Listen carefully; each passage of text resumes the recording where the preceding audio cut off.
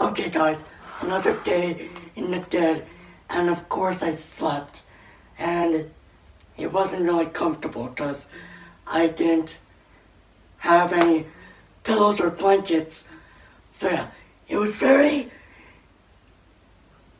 hard, and of course there's no heat, so it was freezing.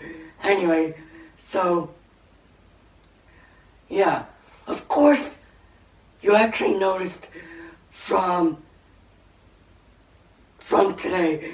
I got new clothes. I I actually um someone came and gave me something awesome. So I now have new clothes. So it's great. And yeah I guess we have to find a way to get out of here is there anything like a key or something no Hey, who are you? no who are you I've been here for like a hundred years.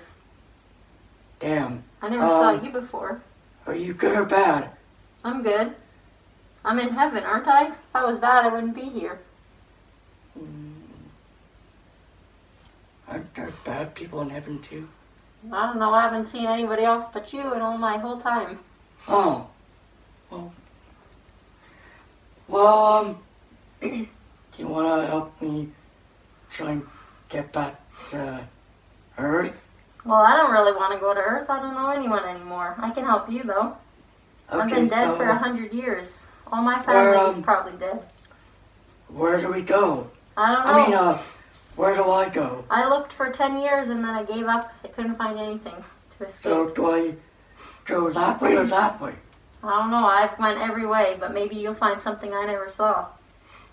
Okay, um, so I'm just gonna go. I'm just gonna go this way. Okay, I'll come with you. and um, hopefully we find something. Um, okay, guys, we found a flashlight. Yeah, this was just laying on the ground. So now we can see where we're going. Anyway, anyway, we're gonna try to find something. But, um, actually, guys, I'm going to You want the light? Keep going and I'm keep keep going and see if we find something. Hey, look at I see a tiny little spot on the floor. You can't be tired. I think that spot might be something. Guys, I think I'm tired. I'm just gonna go to bed. So, Why? You don't have time to sleep. You don't feel tired in heaven. night, guys.